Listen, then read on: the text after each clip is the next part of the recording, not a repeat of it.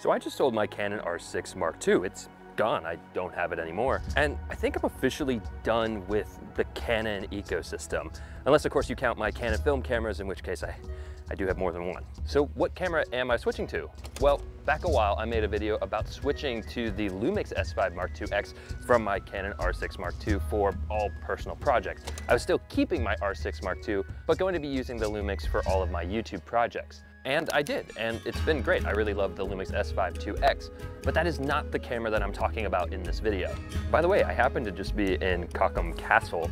Is the oldest castle in all of Europe, built around 1000 AD. It's gonna be a beautiful spot to just kind of nerd out about cameras, so I hope you enjoy the scenery.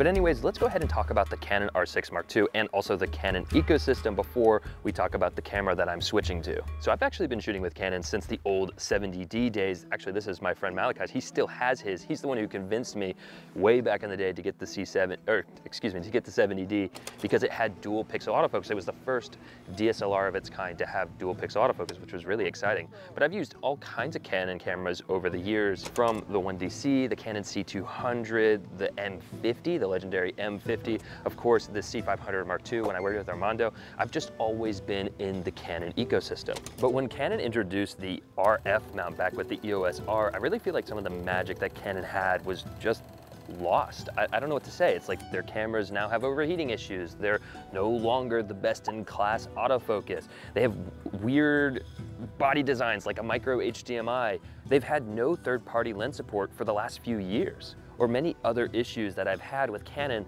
ever since the RF mount was introduced. But honestly, I kind of just ignored all these issues because I was simply used to Canon. I like the menus, the color science, the ergonomics, which are honestly quite good. But it really is death by a thousand cuts for me. I mean, you have things like micro HDMI only giving us C-Log 3 when the camera is fully capable of C-Log 2. You have other things like overheating in 4K 60, and the list could go on and on. One by one, I watched everyone I know switch to Sony. Even major Hollywood productions were switching to Sony, like in Mission Impossible, Andor, or Avatar. And they actually even used the Sony FX3 recently to film The Creator, which is just insane. But honestly, I kind of ignored all that because I thought it was just hype or that people were being paid to switch to Sony. But while Canon was getting complacent over the years, Sony has been advancing and finally I just had to switch to Sony. Okay guys, enough suspense. The camera that I'm switching to from my Canon R6 Mark II is the Sony a7 R5. And this is such a wonderful camera and I'm very happy with the switch so far. Sony honestly just addresses all of my issues that I've had with Canon. They just aren't making any compromises. You have a full-size HDMI, this tilt flip screen hybrid that is absolutely incredible, a 9.4 million dot EVF. You have their best log profile, S-Log 3, best in class autofocus, and not to mention that amazing 61 megapixel 8K sensor.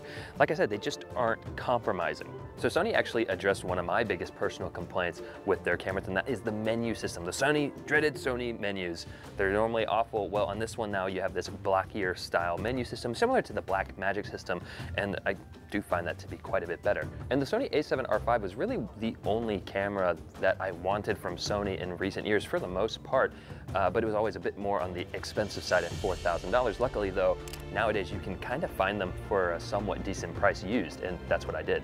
Also, I'm really excited for E-mount because it opens up a world of third-party lenses to me that I just didn't have with the Canon RF system, like that new Sigma 70 to 200 millimeter that looks pretty dang cool. Now, I did consider briefly getting the Sony FX3, but honestly, I really wanted to have that 9.4 million dot electronic EVF with that 120 frames per second refresh rate. It, I mean, it's the best EVF there is. But I'm really happy with the image quality that you're able to get out of these newer Sonys. The color science now is actually just as good as Canon and maybe arguably better. That Canon color just is no longer superior. So what about my Lumix S5 Mark II X? Am I keeping it? Am I selling that as well? Well, actually, I've decided to keep that. I honestly really love my Lumix S5 2X, so I'll just use it in conjunction with the Sony a7R5 moving forward. So yeah, I'm sorry, Canon.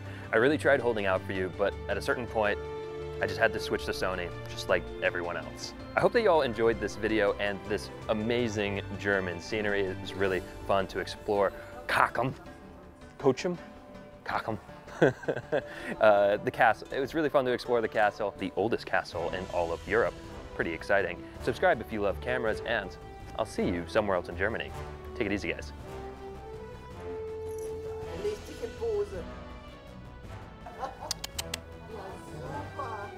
Hello, puppy.